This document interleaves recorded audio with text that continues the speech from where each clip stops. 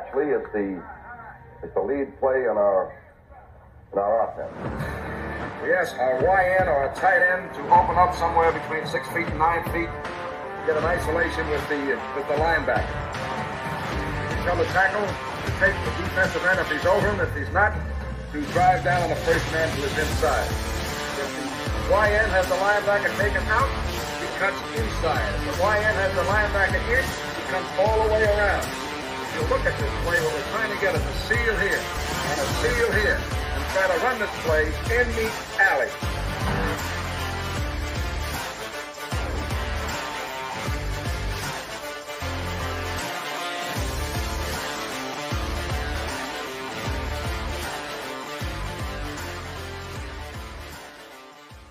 What's up, guys? Welcome into Packers Total Access. My name is Clayton. You can check us out on packernet.com. Find me on Twitter at Packers underscore access. Email us, Packers Total Access at gmail.com. Text us 865 658 5824. We are live on YouTube, X, and Rumble. Joined alongside Tim live in Green Bay. We've got Jacob the Beard up there in Wisconsin as well. Gentlemen, how are we doing tonight?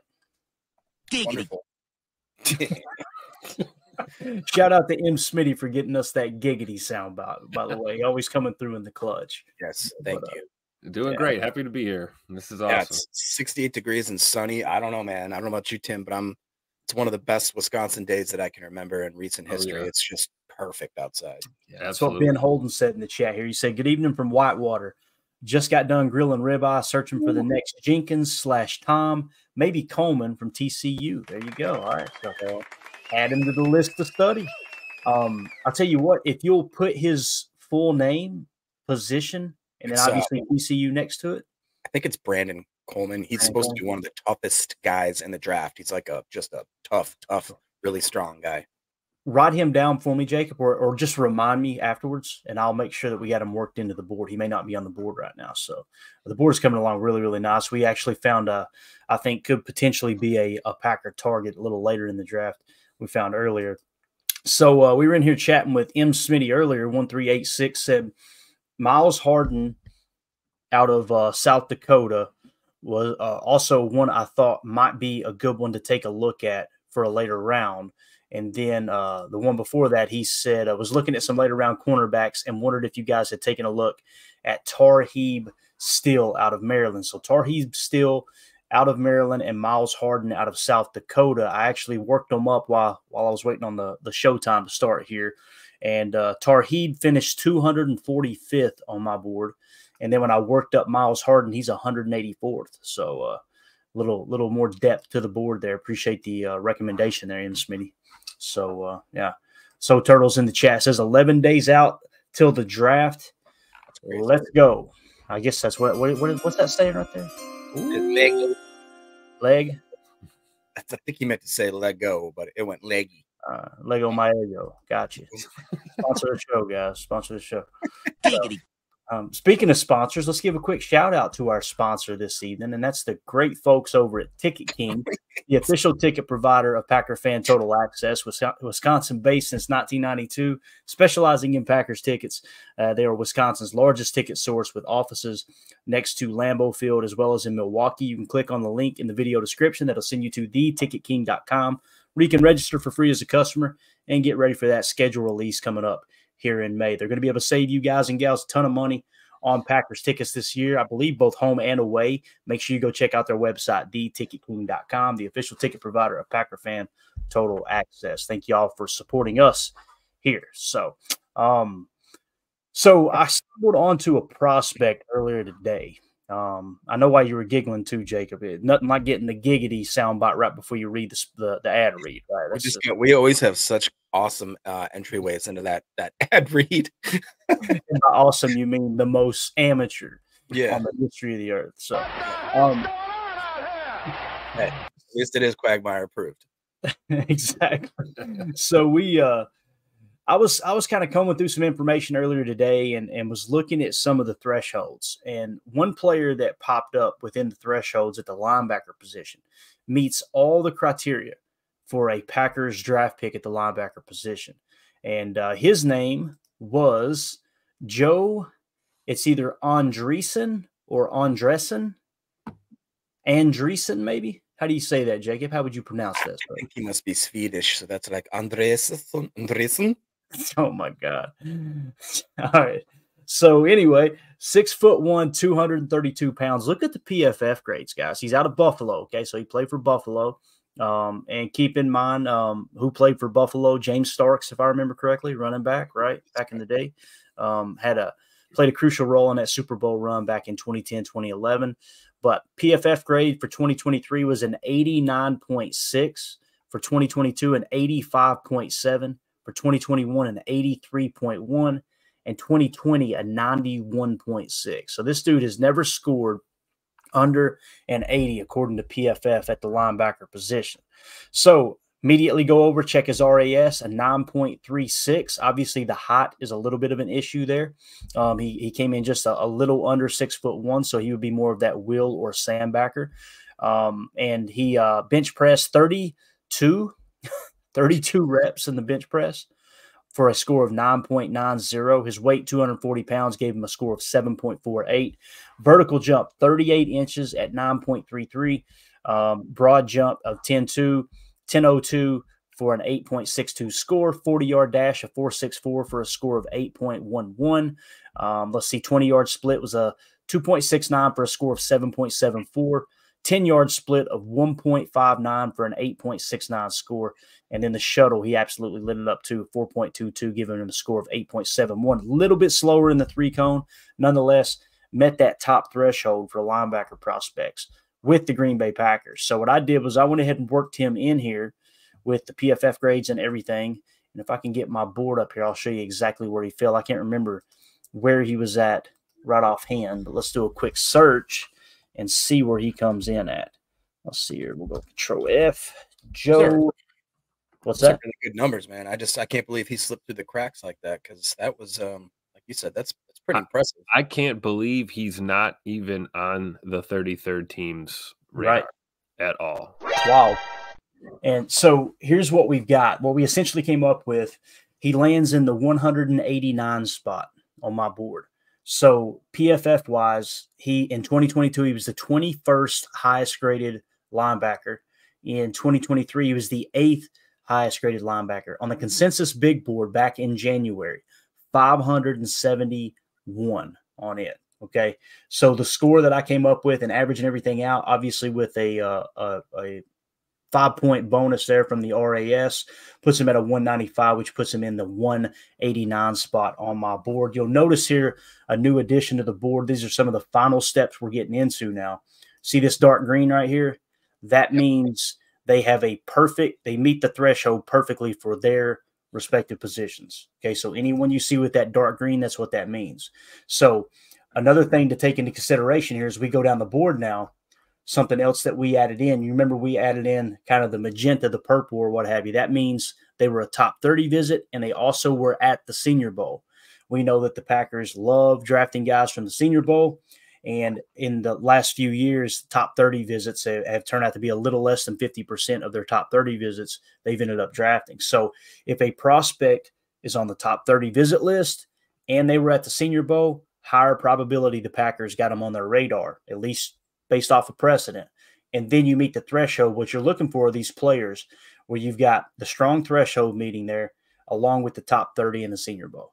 So those players, if we go down this board real quick and you look at them, you, you can see the threshold. There's several of them, but as we climb on down, the first one that meets both of those, or all three, I should say, top threshold, top 30 visit, as well as Senior Bowl, Tyler Guyton out of uh, Oklahoma. All right. So the next one, if we go on down here, would be Mr. Surprise, surprise, Trevin Wallace, linebacker out of Kentucky.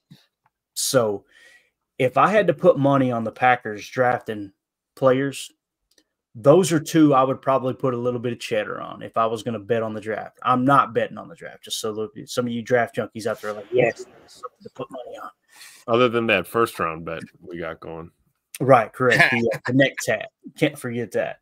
So just keep an eye on those two players. The thing that sucks about Tyler Guyton, in my opinion, is I don't see him as worthy of the 25th pick. He's sitting 61st on my board.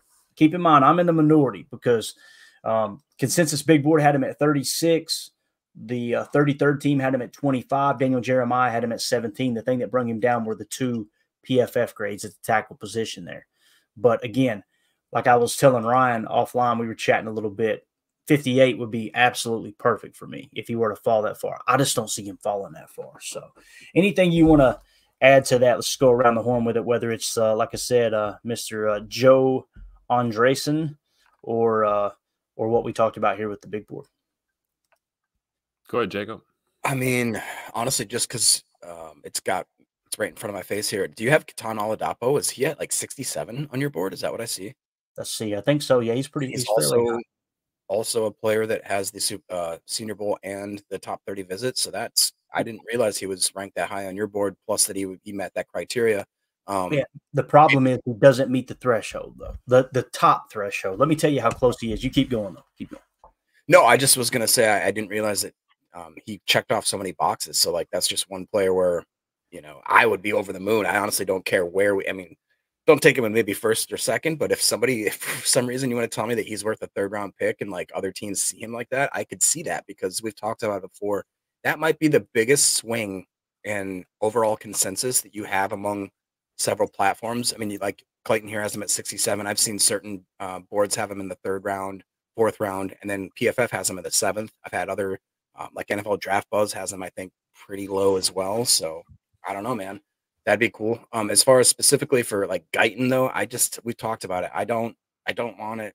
I don't want it, and I definitely don't want it at 25, not at 41. If he falls past that, I'd be, I'd take it with a spoonful of sugar, I guess, and help the medicine go. so yeah, Oladapo, the only thing he doesn't meet as far as the the thresholds for the uh, for the Packers is you got to have for the safety position, you've got to have the 80 at least the 80 percentile in the broad jump. He came in at 37%. Again, that doesn't mean the Packers aren't going to draft him. They may they may draft surprise us all and, and take Oladapo with the 41st pick, right?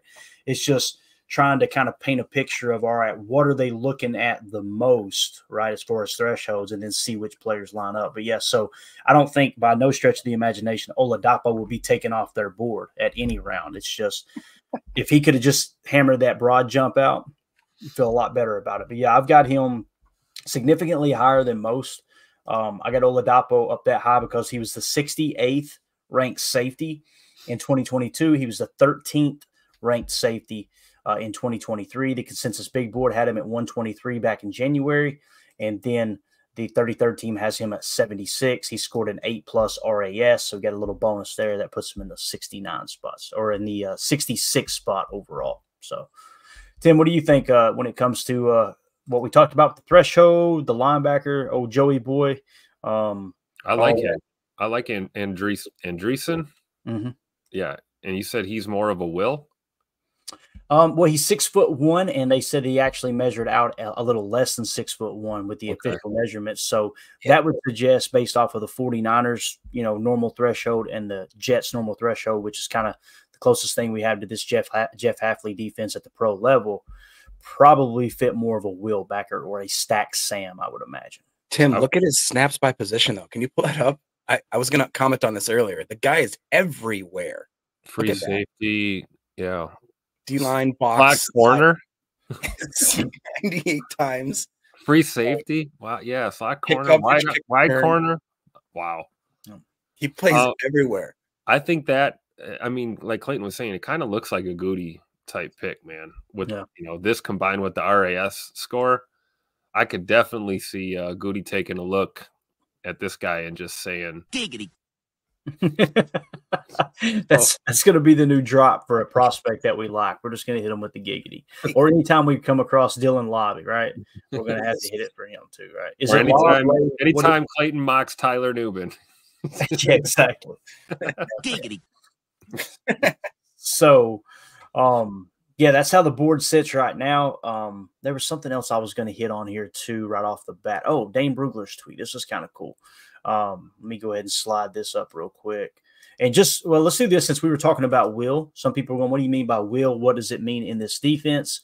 So this was based off of the Pete Carroll style 4 3, and well, more specifically, Robert Saleh's defense that he took to the new to the New York Jets, where they play a lot of buzz, a lot of what we call cover three buzz.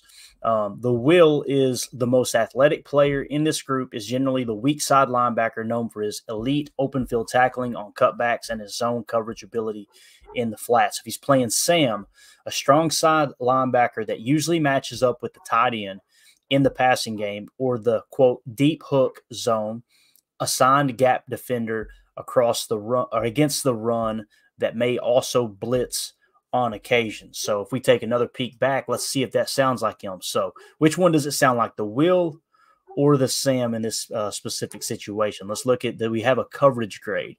Um, coverage grade 75.2. Look at the pass rush grade 81.3. Run defense grade. You got to be able to take on the strong side of the formation at the Sam. It's a 90.8.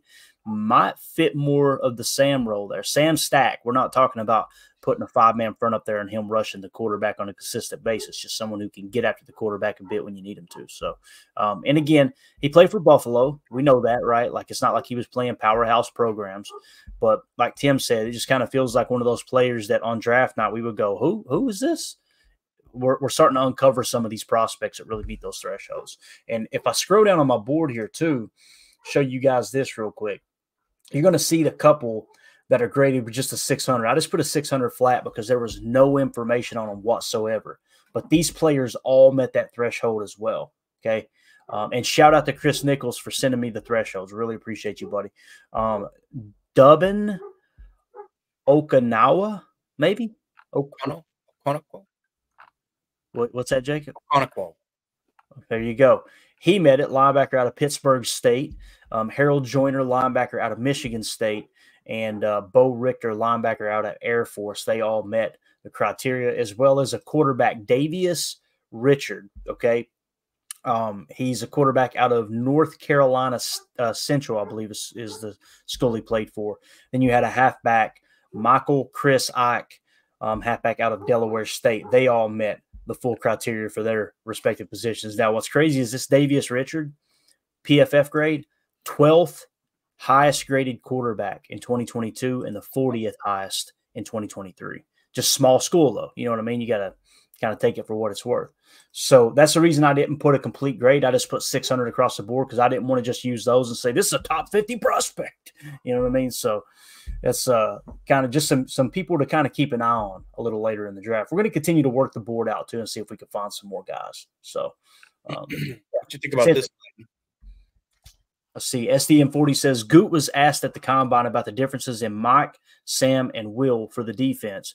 And he said they were basically all the same for what it's worth. See, that's that's the way I've kind of looked at it in the past. If you're a stack backer, it if your mock goes down, guess what happens? Your second best linebacker takes over as mock. They're not going, nope, he's too short.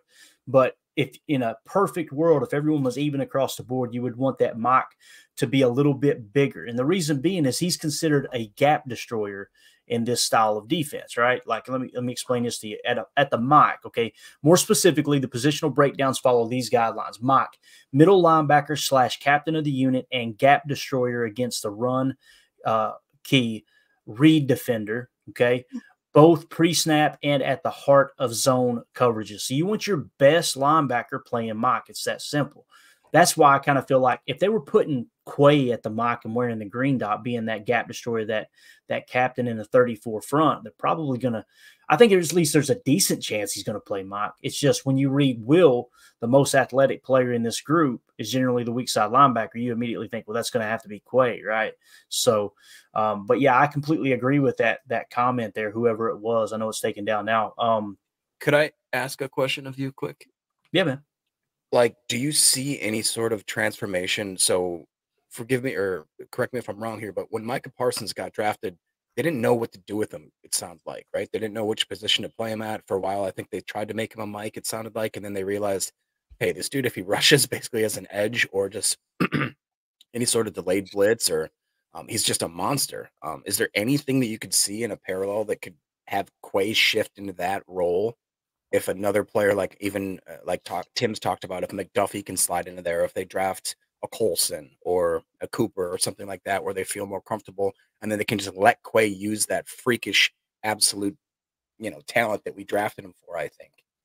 Yeah, the the thing that Dallas did there, and you got to think it's two different styles of defense too. Dallas likes to run uh, a whole lot of, uh, if I remember correctly, a whole lot of nickel and dime, which Robert Saleh ran, I think, eighty percent nickel in New York, if I remember correctly. Uh, but they play a ton of man coverage. The Dallas Cowboys do. So when they're playing that zero man coverage, that was allowing them to fire Micah more, right? What they realized was this dude is the best pass rusher on our team. Let's just put him on the edge. So they started putting him on the edge. Um, do I do I think Quay is as good as Micah? No, and I know that's not what you're asking, but as far as that first step, that quickness, that raw talent, I mean, yeah, he's just as quick as Micah, I believe. He's got. He might, he might be a better coverage backer than. Yeah. I think he see that's the way I see him, and, and if you'll remember, I don't know what his grade was last year, but the year before, he had a great coverage grade, he being uh, Quay Walker. And to me, that fits more of that mock role, right? Um, that's just kind of how I see it. But yeah, Jacob, what it comes down to is all right, the goal is to get pressure with just a four man rush. So you can drop more guys into coverage, right? I know everybody thinks that Jeff Hafley is going to come in and just run all these exotic blitzes if we're going up based off of what the Jets did, that's really not the case. They like to get after the quarterback with a four man rush. Same thing as San Francisco, right?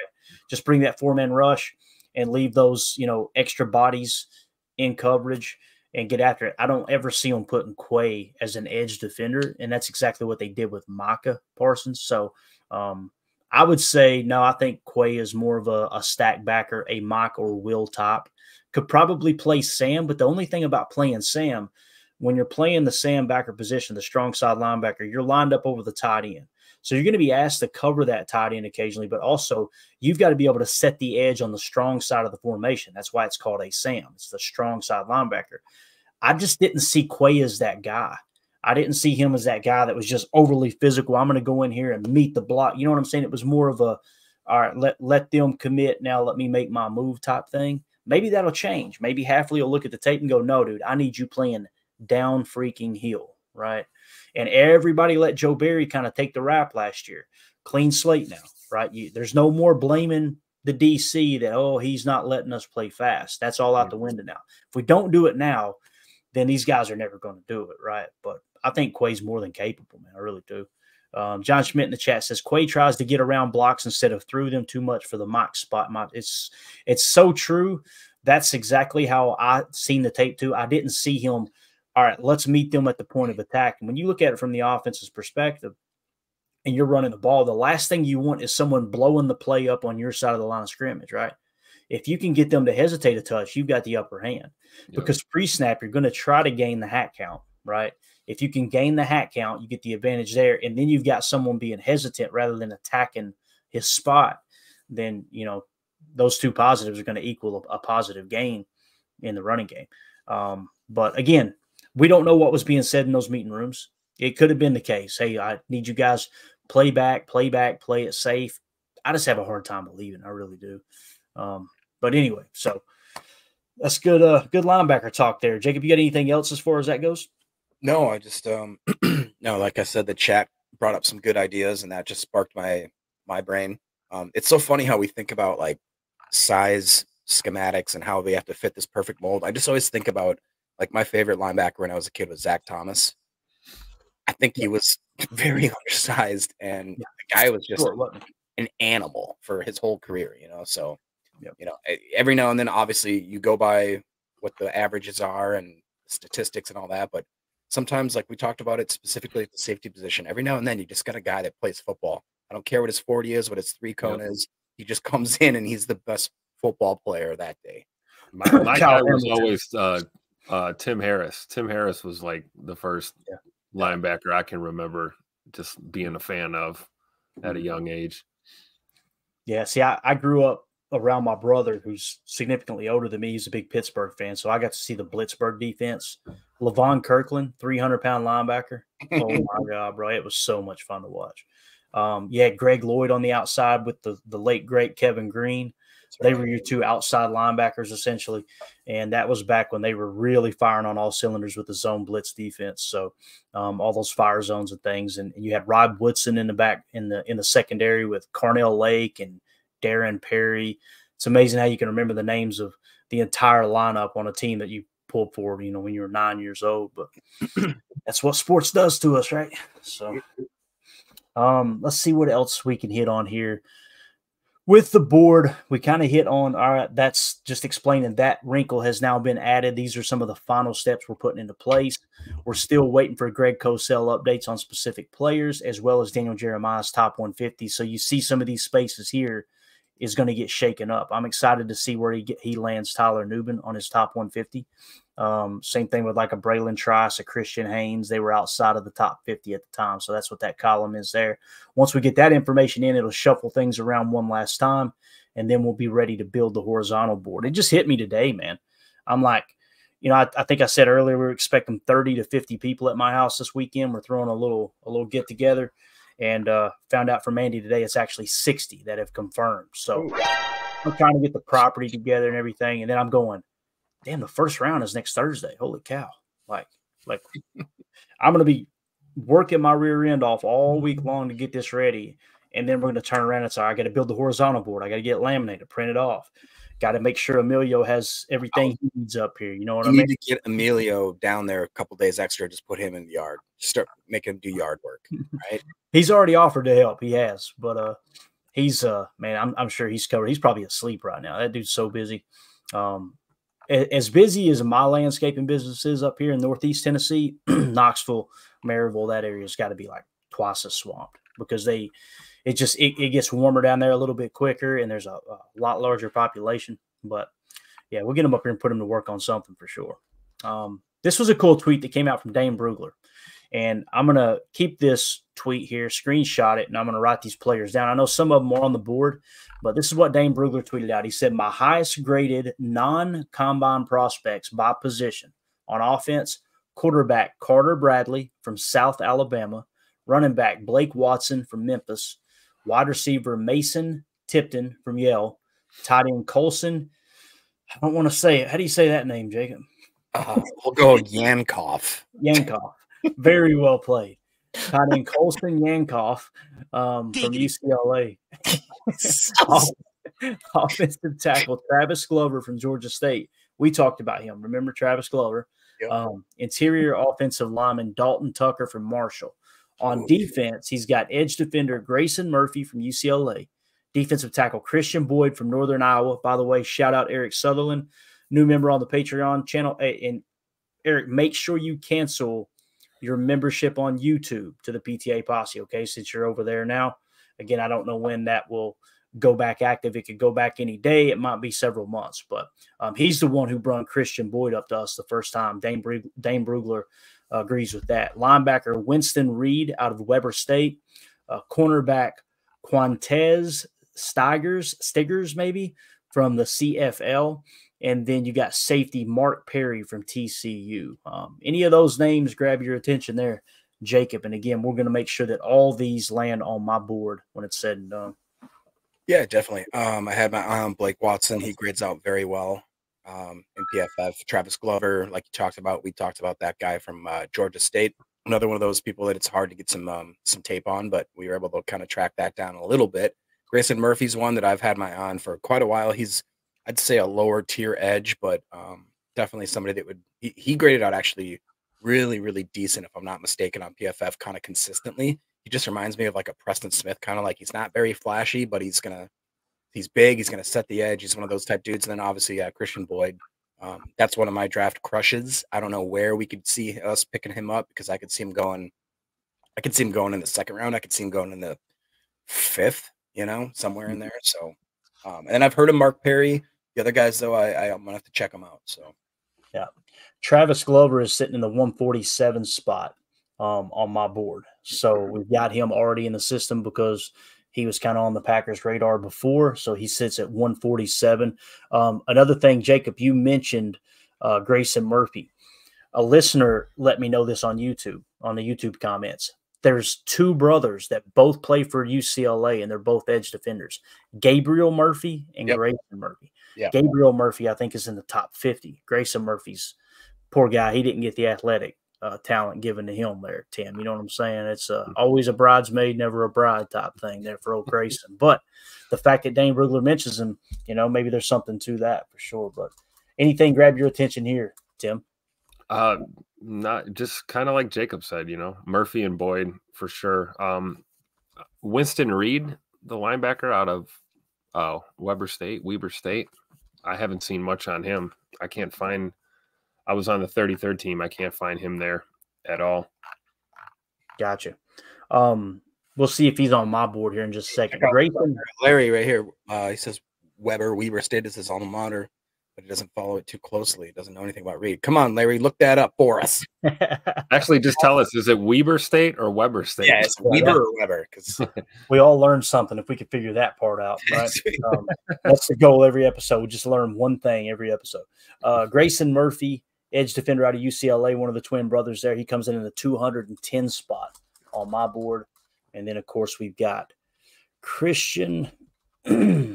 Boyd comes in at 155 on my board. Let's see if we got Winston on here. I don't think we do. We do not. So Winston Reid is not on the board. Um, Quantez uh, Stiggers is not as well. And then Mark Perry. Let's see if Mark Perry's on here. He is not too. So we're going to add like, I don't know, eight or nine players to the board tonight. That's absolutely awesome. So, and I, I told you guys before, I usually try to key in on just the top 100, top 150. We are now up to what 250 prospects on the board. So pretty cool though, man. Because again, if I wasn't doing the pod with you guys and gals, um, we uh, I wouldn't have went that far. Weber State. Weber. Apparently, they're decent. So yeah. coaches had some running. He played Weber State in college. Good program. Good yeah. stuff. There we go. I love Thanks, it. We got At least we we can uh, not sound like idiots now when we. Uh, well, now, Larry cleared it up for us. At least we'll say we were State. Well, eh. ain't, nothing, ain't nothing I can do about me sound like an idiot. At least you guys aren't going to sound like idiots. Until I take some uh, some speech classes here, it's always going to be that way. Um, let's see anything else you guys want to hit on? We're at the 31 minute mark already. Holy cow, 32 minutes we just turned over. Um, Jacob, anything else you want to touch on, man? That just as far as this conversation we're having right now. Well, specifically not well, I, I do have something for oh look who's in here. Eric Sutherland decided to show his ugly mug. Thanks. He said good evening, everyone. I figured we finally got the- one. We we can put it on the screen, so I can put it up. right. Um, no, I mean, um, I did send you a couple clips, just some screenshots if you if you want to pick those up if we need something else yeah. later. But um, as far as this goes, man, I mean, this is it's been, I think like like it's been really interesting this offseason because we talked about it earlier how usually mock drafts people think you're looking for a certain thing. The mock draft practice and the way that we've kind of done it in different areas mm-hmm. has given us the chance to find some of these guys.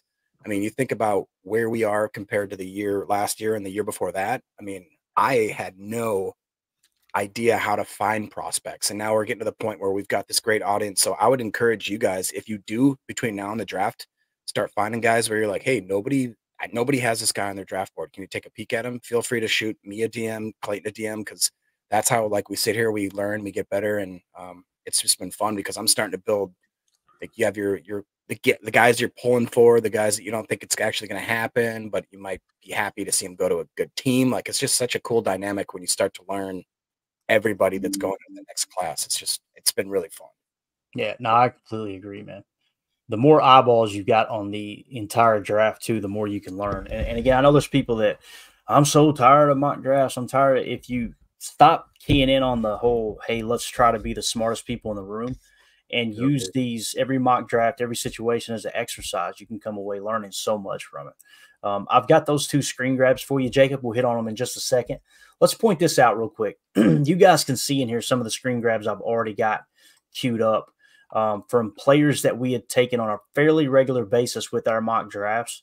And I wanted to see how it, how many of them actually matched up with the full threshold, right? Meaning, all right, there's nothing else they could have physically um, that would have them be more of a Gute top pick from a from a physicality standpoint.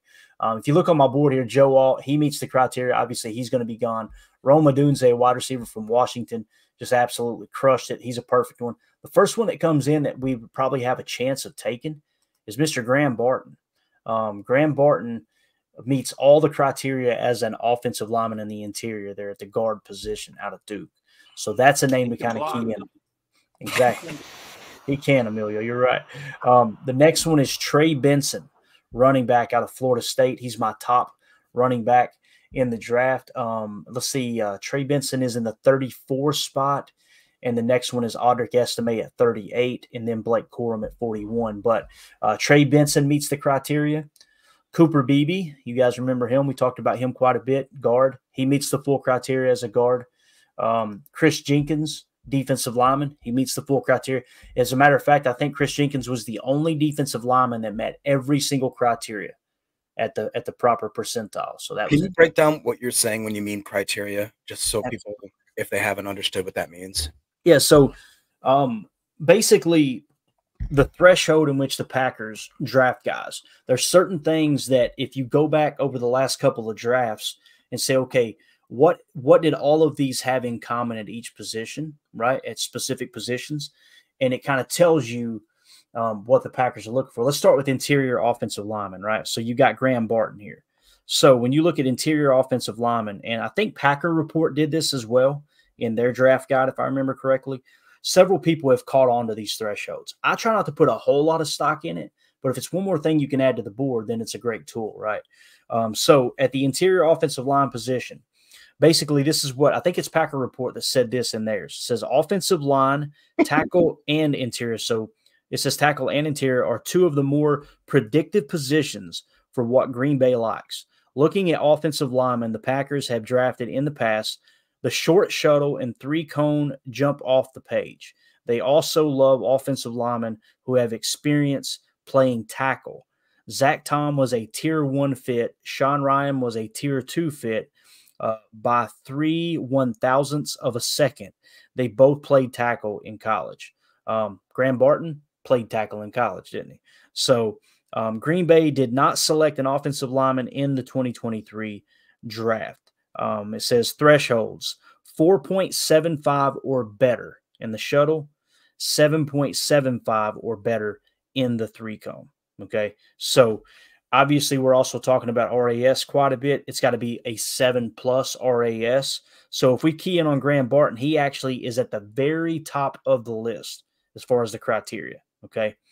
Um, his RAS, he had a seven plus, right? Obviously, he's 21 years old his 475 shuttle, right? A 475 shuttle, you need to be under that was 454. You need to be under a 7.753 cone. His was a 7.31, and he had tackle experience. So he meets all those criteria. That's just one position, right? So now if we were to move, I won't do every position, but if we were to move to defensive line now, let's go interior defensive line and let's see what the criteria is. Um, Come on, where you at? I know I seen you just a second ago. Here we go. Interior defensive line. It says since taking over in Green Bay, uh, has drafted 10 front seven players. The only thing they all have in common is elite broad jumps. Outside of that, they have all they've been all over the map in size, length of interior defensive linemen. Uh, Devonte Wyatt was a tier one fit in the 2023 draft. Colby Wooden was light but hit everything else. Karl Brooks was a massive outlier. So for those people that think, oh, this is the key to them being a good defensive lineman, Karl Brooks didn't meet the criteria, right? Karl Brooks was evidently fairly far down on the list, and obviously he, he could have been one of our best defensive linemen last was year. Was that because he was too big by their criteria standards, if I'm not mistaken, right? Because wasn't he like a 300 pound edge or whatever? Well, that's the thing. All these guys are 300 pounds too. And so was Devonte Wyatt. So it probably wasn't that. Here's the criteria that Kris Jenkins, he's the only one that meets everything across the board. Okay. Um, RAS of 6.5 or higher. His is a 9.55. Uh, let's see. His age, 22 years old. Um, he's, you got to be six foot two or taller. He was six foot two. Um, 295 pounds or more he was 299 pounds, and you got to have an 80 percentile broad jump or higher. His was 95% in the broad jump. You're talking about explosion. Kris Jenkins has got it. So that's what I mean by meeting the criteria. Every position's a little bit different. Like running back, they've got the whole thing. We won't bore everyone with all the details there. But as we continue down the list here again, um, we talked about Trey Benson, top running back on my board. He meets all the criteria for running back. Cooper Beebe at guard um, in the 36th spot. He meets the criteria. Kris Jenkins, interior defensive lineman at number 39 on my board. He meets the criteria. Um, tight end Cade Stover is 47th on my board. He meets all the tight end criteria. And the tight end seemed a little, a little more, uh, uh, a little. What am I trying to say here? Not strict, right? Um, as far as them, they're not as picky with them. So here's a tackle. The first tackle on the board that meets the criteria is Dominick Puni out of Kansas. Okay, he's 55th on my board. He meets all the criteria for tackle. Um, next will be Tyler Guyton, your boy Jacob. I know you're a big fan of Tyler Guyton um, in the 61 spot.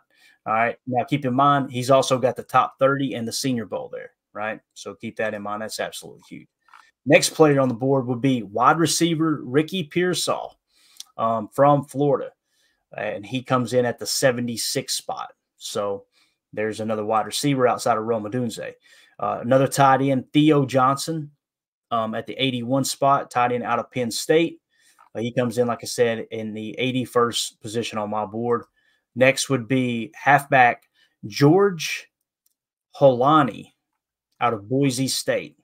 Some people were going, "Who in the hell is that?" Right? Who? right. I was waiting for it. Um, he's 83rd on my board.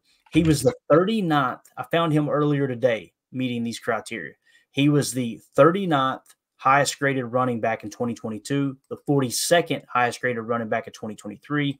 Consensus Big Board had him at 222 back in January. Um, 33rd team doesn't have him on the board.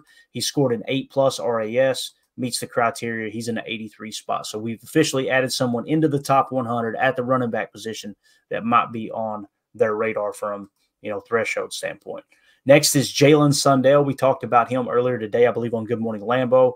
I listed him as a guard. Um, it seems like that's what everybody across the board out of North Dakota State thinks he is. He comes in in the 89 spot, had great PFF grades. We drafted him on our little uh, mock draft the other night. And uh, yeah, he meets all the, the thresholds. Um, let's see here. Jared Wiley, tight end out of TCU in the 101st spot. He meets the criteria. Will Shipley at 102, halfback from Clemson. Will Shipley's a guy that's kind of got my attention a little bit. Um, he's got a lacrosse background, I believe. Field hockey, lacrosse. I get those two crossed up. Someone was talking the other day. I think it was um, Greg Cosell was talking about him and how his competitiveness is what really kind of sets him apart. And that's someone that I don't know, man. He just kind of feels like a packer, feels like a leader top uh, type running back. So anytime you got someone who's multi-sport athlete to it, kind of piques your interest. Again, he scored over a nine as far as RAS. He meets the threshold in the 102 spot. Joe Milton, quarterback out of Tennessee. This one made me want to throw up on my keyboard. Um, Joe Milton, the third in the 106 spot. He meets the criteria at the quarterback position. Um, let's see, Jaylen Wright, running back out of Tennessee. That's Joe Milton's teammate. 115 on the big board here, on my big board. He meets the uh, threshold as well.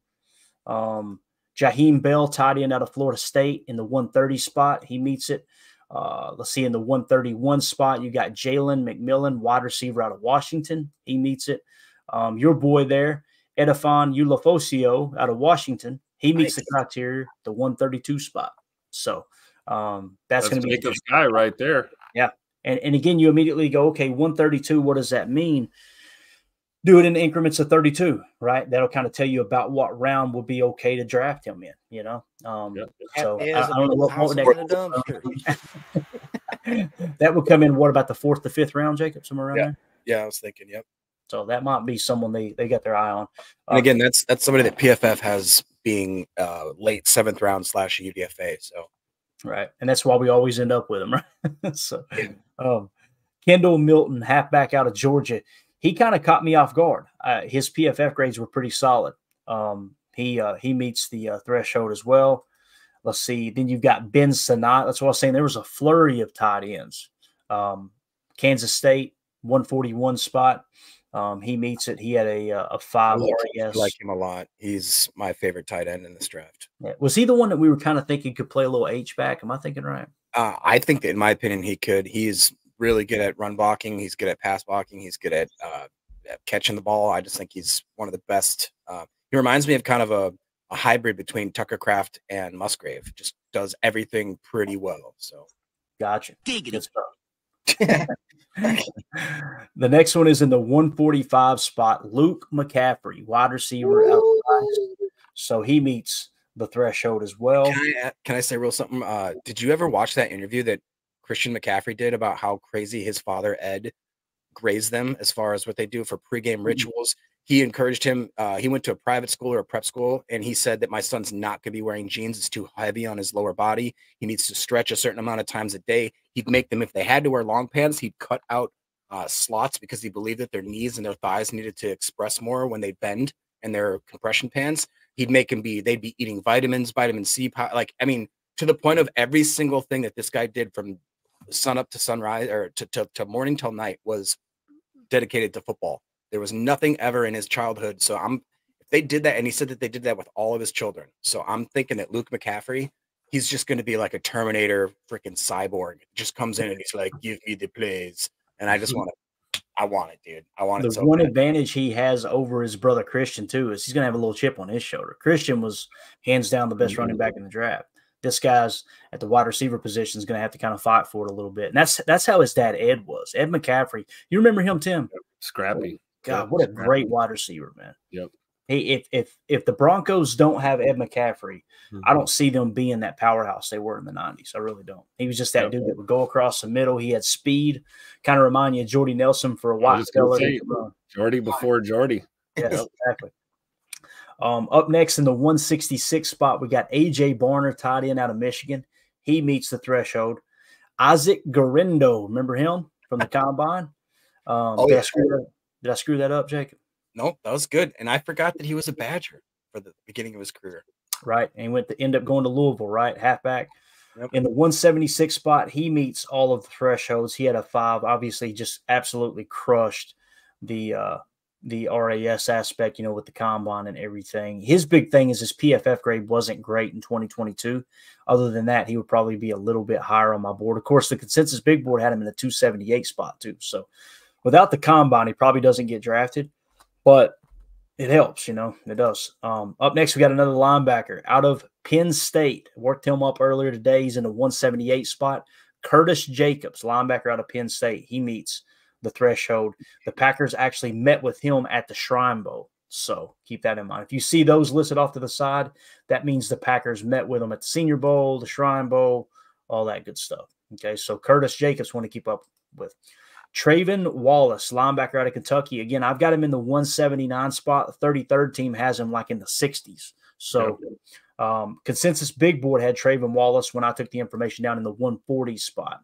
Now, his PFF grade was absolute cheeks in 2023. That's going to bring him down on my board quite a bit. He did have a great RAS, though.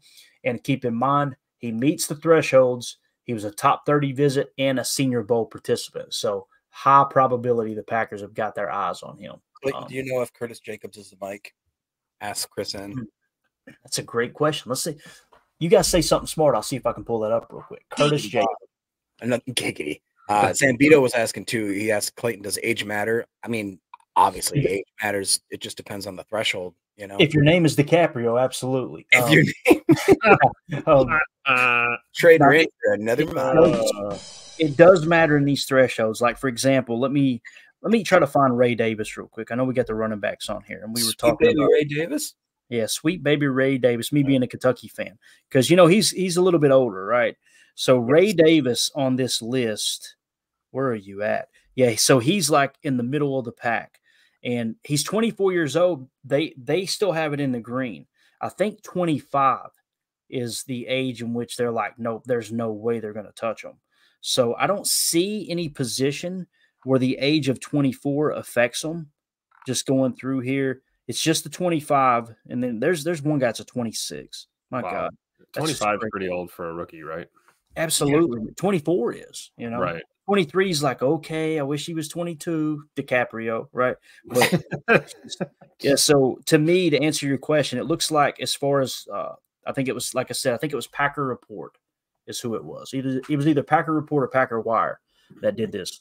Um, they seem to think 24 is okay. So I'll tell you what, if you listen to Ryan's pod that released today, uh, where he goes through the draft prospects for running back, I think that he may have all, all of a sudden been swayed that the Packers may be taking Braylon Allen. It, it, he's the youngest player in this draft. He is the youngest. He's only he's going to be, I think, 20 to 21 his whole rookie year, and most of it's going to be around 20ish or whatever. Um, and he's like a stand-up guy. He already has a charity set up in Fond du Lac. Like he listed all this kind of stuff, and oh, they're gonna, move, they're gonna move him back to linebacker. They're gonna move, and, and I didn't realize so that Dane Brugler they dive in, so they he got recruited to go there by Jim Leonhard, and then Jim Leonhard wanted him to play safety. Then they actually switched him to linebacker. Then they actually so he's been a running back for like 15 mm-hmm. days. You know what I mean? And he's he's I don't know. I, I I'm now starting to get a little more intrigued. But Dude, the thing the thing about Braylon Allen too, and you guys correct me if I'm wrong, from the stuff I've heard, he is like so freaking mature. Like that's like mm-hmm. one of the strengths is like this dude's a leader. He's all about it, you know. Um, whereas Weight he say in the 90s about it, about it. What's that, Jake? Weight room freak. About it. They say that they, he like they have to like tell him to stop lifting. Like you're you're doing too much. Like it's. I'm glad I wasn't the only one that heard that because i that's the thing that always stuck in my mind. Like I want him to pan out. The only knock I had on him is Greg Cosell was like, he's a big back that doesn't play like a big back. Right. right? Now, that's not the reason not to draft somebody. You know what I mean? Uh, but again, early in the process, anyone who keeps saying, you know, like, hey, let's take this player because he plays for Wisconsin, or let's take this player because, in my case, he plays for Kentucky or Notre Dame. I try to be overly critical of that because I don't want to fall into that. I don't want to be that Packer fan that's just like, yeah, all the teams I like in college, let's draft those players. You know, yeah. who wants a team full of Kentucky players? I know, I don't. You looked at the record here lately; it's uh, not that good. So uh, Curtis Jacobs, whoever asked that question, he is a mock according to the 33rd team. They have a 59 grade on him. He's sitting in the 183 spot right now. When I took the information down early, he was in the 172 spot. So um, 6'1, 241, just about an inch shy of being that 6'2 that we want to see. You know, obviously we've seen with the Jets and the 49ers defense if Hafley goes that that route. So hopefully that answered the question for whoever asked that. Um, so again, we talked about Trevin Wallace. The next one is Jordan Magee, linebacker from Temple. He meets the threshold in the 181 spot here. Then you got our boy Joe Andreessen, um, linebacker out of Buffalo. We just found him today. He comes in the 189 spot. He meets the thresholds. Uh, Jaylan Ford, linebacker out of Texas, in the 195 spot. He meets the thresholds as well. Um, Tip Reiman, tight end out of Illinois. You remember him from the combine, right? He kind of stood out a bit. Um, he had a, a, uh, a five, so a, a, nine plus RAS at the combine. Um, he meets all the thresholds as well. Like I said, there was a whole bunch of tight ends that did. Evan Williams, safety out of Oregon. I had to work him up earlier today. He comes in a 199 spot. He meets the threshold. Uh, Jarvion Howard, halfback out of Alcorn State. Alcorn State with Donald Driver, right? No. Um, he meets all the thresholds at halfback. He's in the, uh, like I said, the 200 spot. Um, then you got Kamani Vidal.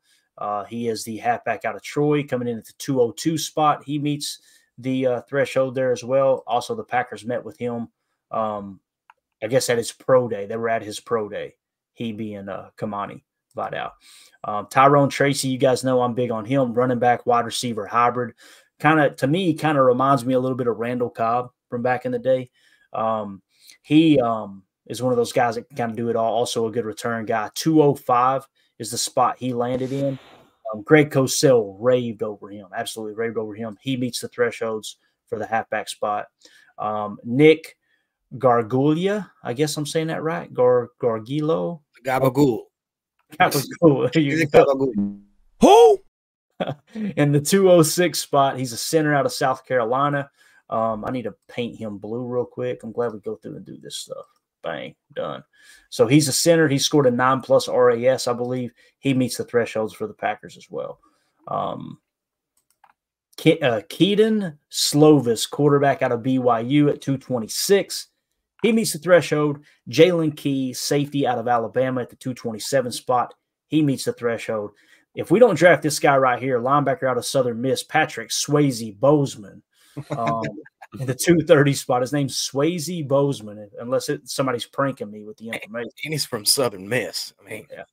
He had a, uh, a plus nine RAS or a nine plus RAS, I should say. So he meets all the thresholds. Isaiah Johnson, safety out of Syracuse. Jaylon Carlies, safety out of Missouri. Willie Drew, yeah, Willie Drew, cornerback out of Virginia State. Um, Frank Crum, uh, tidy, or tackle out of Wyoming. He comes in in the 236 spot. He meets the criteria. Uh, let's see, Ryan Watts, safety out of Texas at 245. Myles Cole, edge defender out of Texas Tech, um, coming in at 248. And then, of course, I just label these in the 600 spot as far as a score, um, just to keep them at the bottom because it's all incomplete. But those players are Dubin, Dubin, Okonko. Is that right? Conco. All right.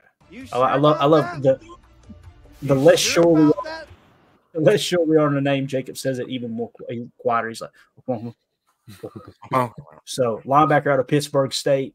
Um, he meets the criteria. Harold Joyner sounds like a mechanic back home in Kentucky. Linebacker out of Michigan State. He meets the criteria. Bo Richter, linebacker out of Air Force, beats the criteria. Davius Richard, quarterback out of North Carolina Central. Um, not even sure how many classes they have out there. He meets the criteria. But I'm telling you, man, go look at his PFF. I'm gonna pull his PFF grades up here in a minute. I want you guys to see that before we wrap up. Um, and then halfback Michael Chris Ike out of Delaware State. He meets the criteria. So, anything you want to hit on there, Jacob? As I pull up Mr. Davius Richard on PFF. Oh man, that uh, that was fun to go through that. I actually I didn't know that. Um, that's a lot of guys. You know, it's a, Mhm. it's a good smattering. Good little smattering. Tim, what do you think, man? Yeah, Buy me man. some time. There's a, a lot on here that were not on the, the radar until a few days ago, you know. And like you said, you're you wanted to stay to the top 100, top 150 and vertical boards, you know, creeping up on 400 names here and uh I can't wait to see the horizontal board how it's going to pan out here as we get closer to the draft. We're uh days away here, people.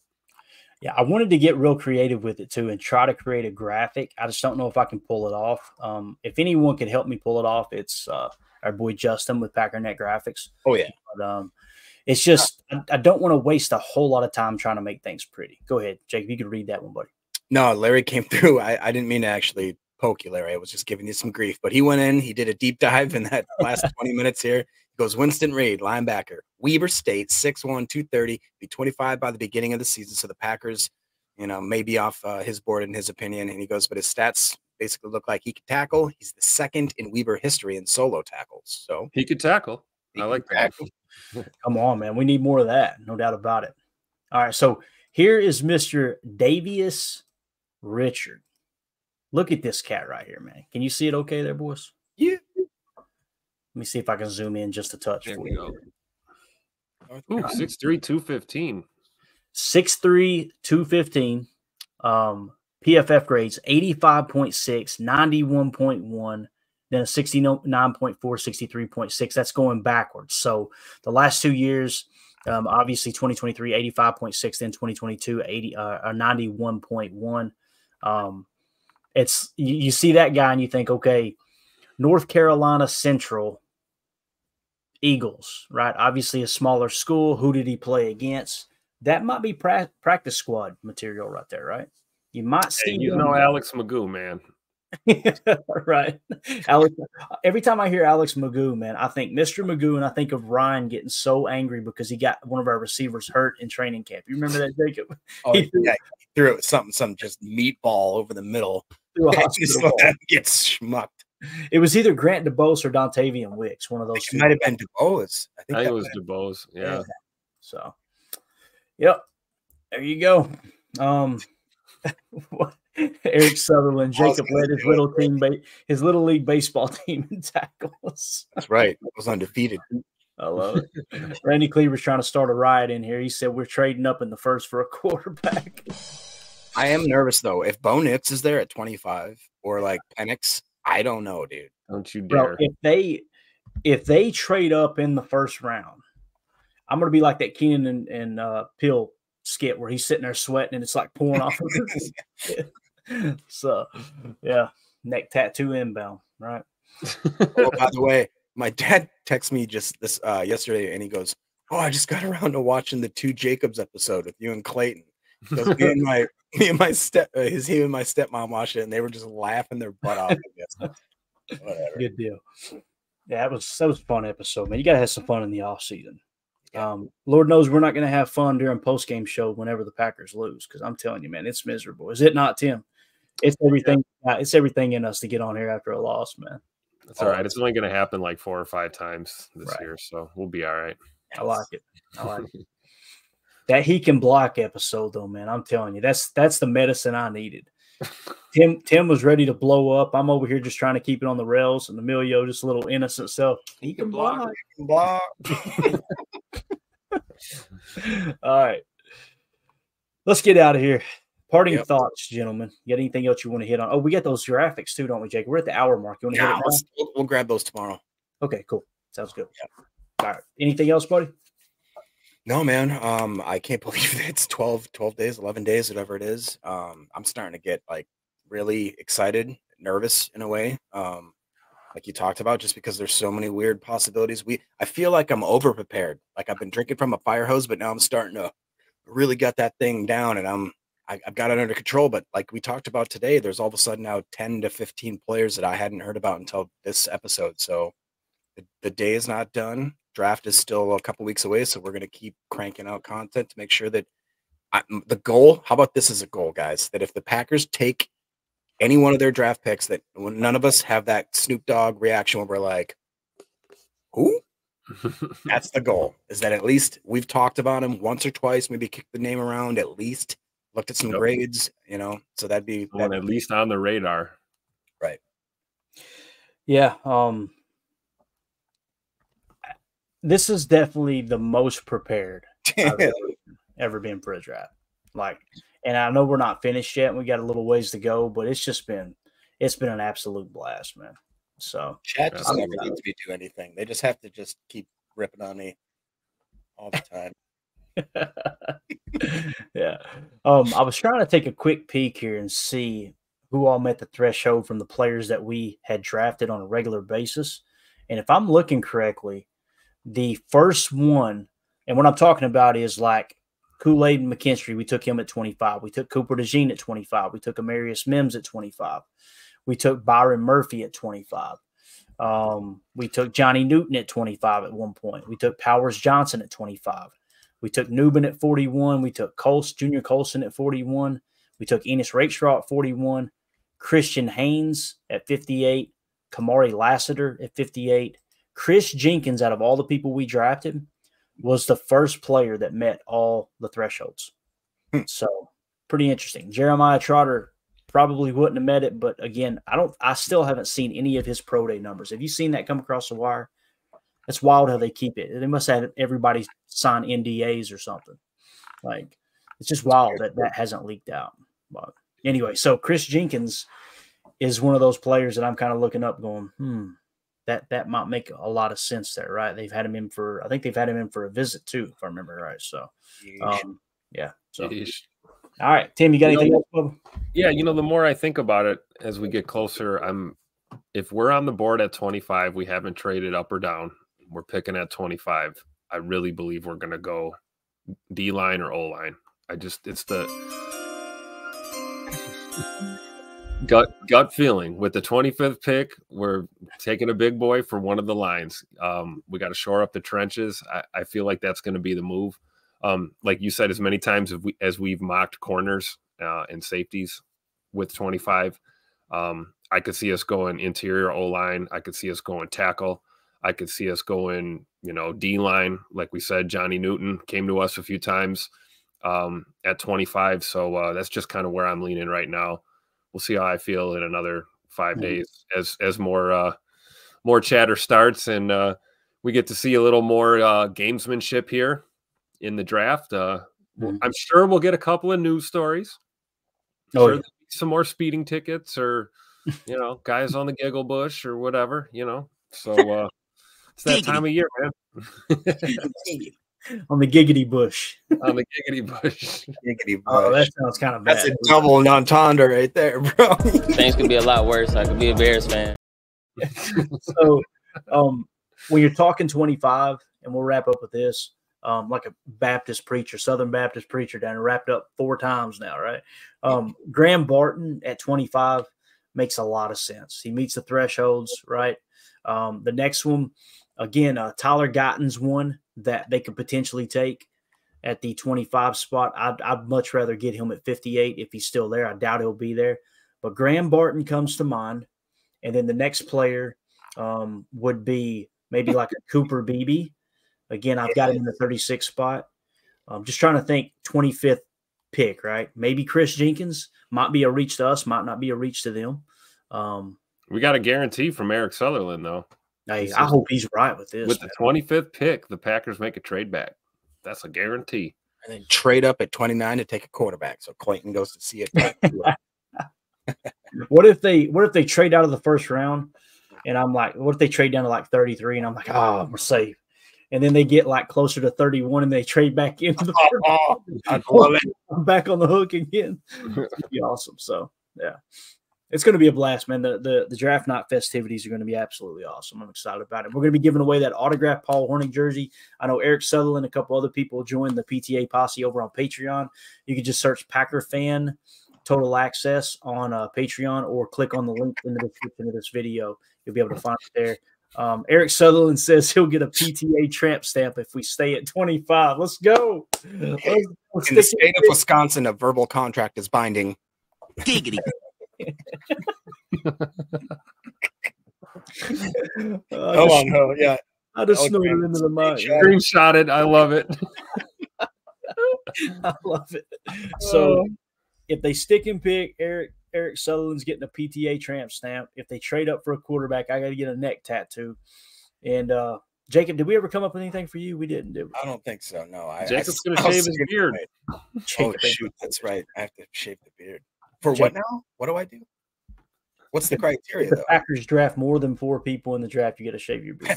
uh, all right, we're out, guys. We appreciate y'all putting up with us this evening. It was a lot of fun. We will see you tomorrow night for PTA. No, you ain't, Eric. Don't you back out. Oh, hey, why would we? Yeah, we do. It's free advertising. Yeah, but he has to ride a motorcycle and he has to hike. Who's the advertising too? That's the question. All right, we're out here. You're gonna get me in trouble now, guys. All oh, right. So there's a possum in a dumpster. Everybody have a wonderful evening. For those of you listening on the pod, thank you for making us a part of your day. As always, let's go out and be the change we want to see in the world and go Pack go. Oh. The power sweep actually is the it's the lead play in our in our offense. Yes, a YN or a tight end to open up somewhere between six feet and nine feet. Get an isolation with the with the linebacker.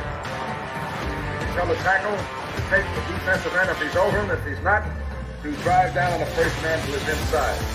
If the YN has the linebacker taken out, he cuts inside. If the YN has the linebacker in, he comes all the way around. If you look at this play, we're trying to get a seal here and a seal here got to run this play in the alley.